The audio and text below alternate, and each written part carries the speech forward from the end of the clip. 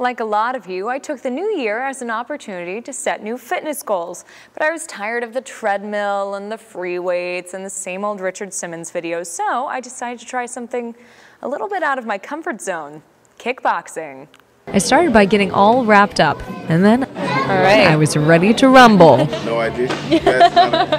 That's not a, that's not a good Or so I thought. That's why if I get in a fight, Stan. First came the warm up. There were suicides, crab crawls, and bear crawls, oh my, followed by sit ups and push ups, jumping jacks, and jumping squats, and then finally to the kickboxing.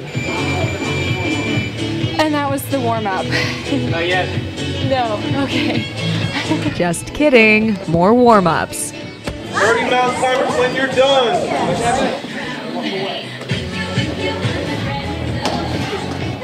All right, time to begin.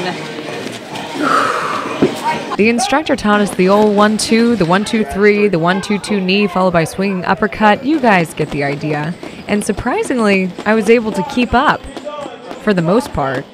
Even if they're all in the same class, the coach will kind of take some new people aside and kind of work on fundamentals with them, so uh, nobody feels like they're out of place or that you know they're overwhelmed. Coaches do a good job of making everybody feel welcome. And it really is for everyone. There's no limit. There's really no limit. We start kids programs as young as five years old, and we have members that are in their 70s. And as a young woman, the class made me feel like I could really protect myself. And I wasn't the only one. You know, I feel very um, in shape and I feel um, able to run if something should happen.